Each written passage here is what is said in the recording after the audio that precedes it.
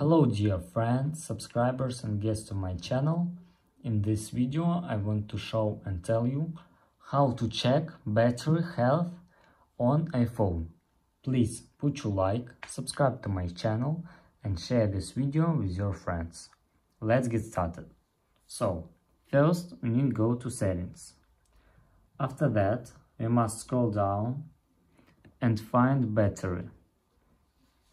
And here you must click battery, health and charging. And here you have maximum capacity. And if you want, uh, if you have 100%, it means that your battery in ideal condition. And that's all. If you enjoyed this video and found it helpful, please put your like, subscribe to my channel and share this video with your friends. Bye bye everyone, see you later.